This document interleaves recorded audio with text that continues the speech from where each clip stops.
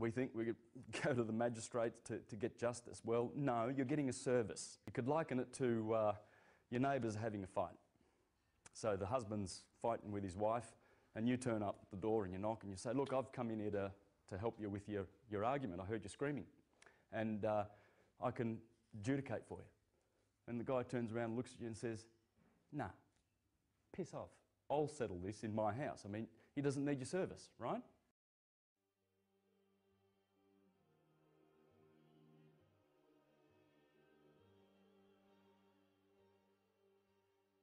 The Catholic Church controls everything that happens in, in, in your uh, court, courtrooms, okay? Everything, the whole lot. Unam Sanctam tells you that everything on this planet belongs to the Catholic Church, okay? You too. Hand up if you've got a papal bull where you've cursed the whole world and, and claimed to possess the. Does anyone do that sort of shit? No. They do. That's the presumption, because that's their claim of right. System of trusts. These are the trusts, okay? This takes away your um, real property. This takes away your personal property. This takes away your soul. Consequently, when you are born, you come out of your mother's water. Therefore, you must have a birth certificate, a certificate of manifest, because you are a corporation owned item. You are a human resource. You've all been baptized into the Catholic Church. You got a birth certificate? That's your baptism. See, it's a ritual. They perform this ritual in our hospitals, but we are born in wards. You are wards of the state. When you notify on your baby by signing the birth certificate, your child becomes a ward of state. From every birth certificate, a legal personality, or legal fiction, is created with the same name to confuse little old you into thinking it's you. So there is a human you and a paper you, or as it's commonly known, a straw man. So when it seems like government officials, court clerks, or the police are speaking English, they aren't. They're speaking legalese, designed to make you agree to verbal and written contracts without even knowing about it, all spun from Black's Law Dictionary. For example, when the police say, do you understand, you'll say, yes. What they are really saying is, do you stand under our authority? Oops-a-daisy, you just created a verbal contract with them. Oh, you clever government. This can help us to reclaim dominion once we know who we are.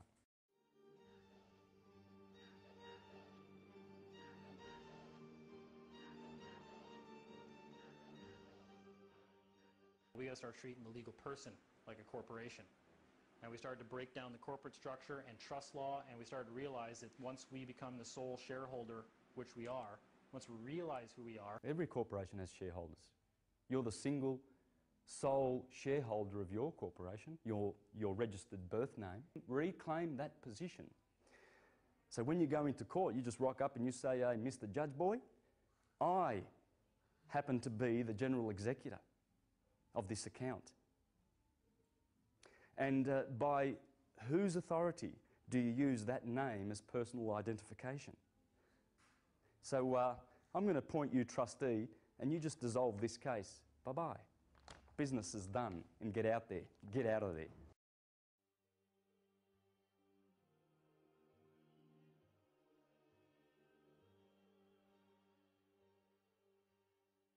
Your name is irrelevant. It's your title. What role are you playing?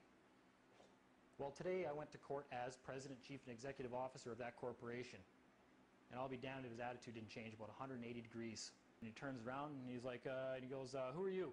I said, well, I'm here regarding the matter for, you know, blah, blah, blah, blah, blah, Manitoba Limited. He's like, all right. He goes, name?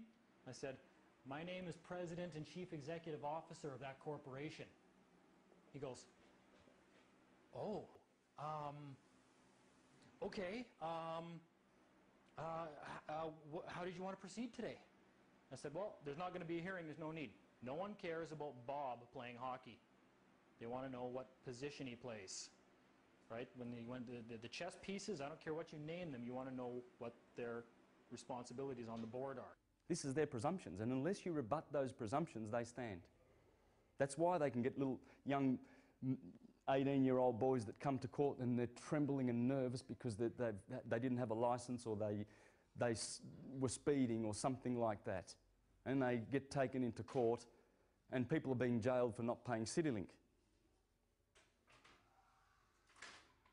This is how they can do this. They can get away with it. Because people aren't saying, hey, hang on a minute here now. Hang on a minute. I am the sole beneficiary and shareholder of my corporation. And I'm going to tell you, Mr. Public Servant, what's for. You're not going to tell me. And I do not consent to your jurisdiction. They can do that if you don't know who you are. When you get a bill, it's sent to you but belongs to your straw man. When you go to court, you represent your straw man.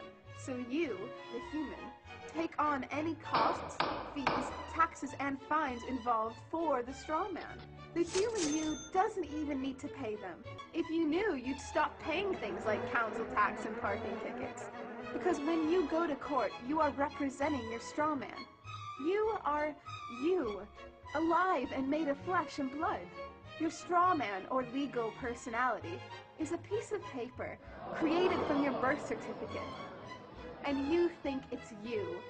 What a silly Billy.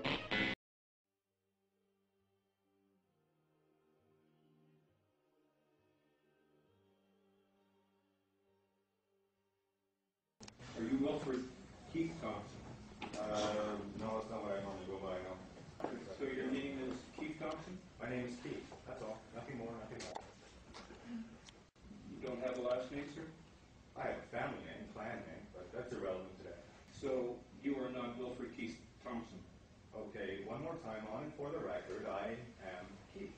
Nothing more. And sit down, sir. I'm looking for a Wilfred Keith Thompson. Please sit down, sir. Actually, uh, Please sit down, sir. sorry, can't do that. I served uh, into the court this morning. Sir, I'm looking for a Wilfred Keith Thompson. You are not that This, this is, person. Sit down, sir. bailiff, I. Please remove this gentleman from the courtroom. Thank you. That's the person you're looking for.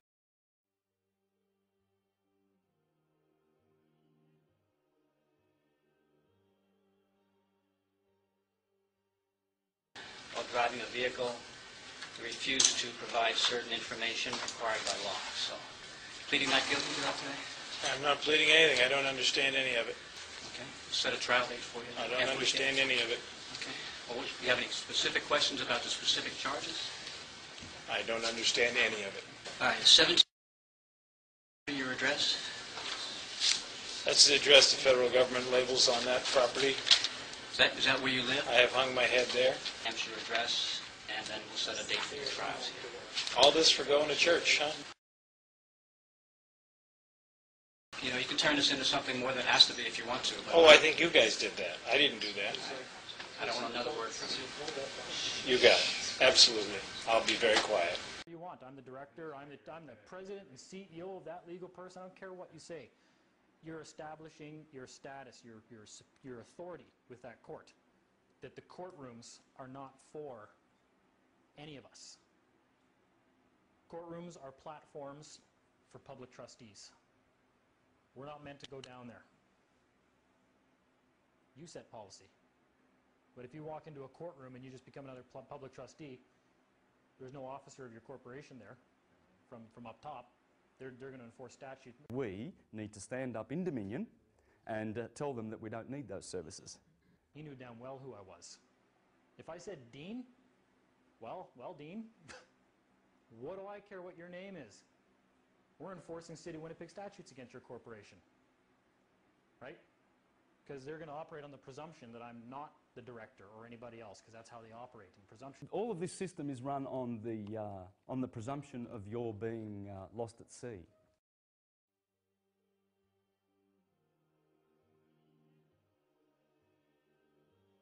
Uniform Commercial Code is based directly on Vatican canon law, on the Roman canon law. Consequently, when a ship pulls into port, it pulls in and stops in its call in its berth. The ship is now in its berth. because it is on the law of the high seas or commercial maritime UCC commercial law rules the seas. So when the ship pulls into its berth, the first thing the captain must do is to present a certificate of manifest to the port authorities, which means that the port authorities need to know how much is on this ship that you're bringing into our country and our economy. How many TVs, how many cars, uh, whatever you're bringing, how much are you bringing into our economy? So you have to have a certificate of manifest of what is the value of your ship here. What are you doing? What is citizenship? It's the citizenship. It's the citizenship. You're on the citizenship. You're on Canada. Yeah. Well, congratulations. Uh, enjoy all that comes with that. See, this is the law of the high seas, the Holy See. Because you're lost out at sea, you're incompetent. That's the presumption they make. Unless you write to the Attorney General and tell him, uh, excuse me, uh, I've come of age and I'm going to uh, be the General Executive from now on. You just step aside, buddy. Person you're looking for. Please, Sir, that is a person. I'm trying, I'm trying to remedy things. Touch me and you will be charged. with- I'm a peace officer. You want to dishonor a court official? The defendant's on the bailiff's desk. Sir, are you here on behalf of Mr. Thompson? I said I was the administrator for that account.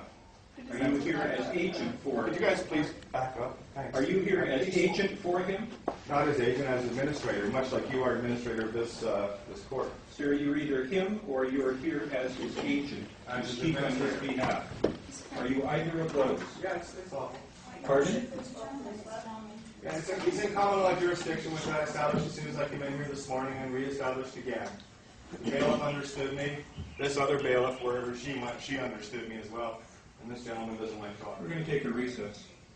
Thank you. Thank you. All rise. How long? How long, sir? I don't, I don't have all day, thank you. I have things to do. We'll take the court. Yeah, actually, uh, This court will recess. please note that the judge has abandoned the court.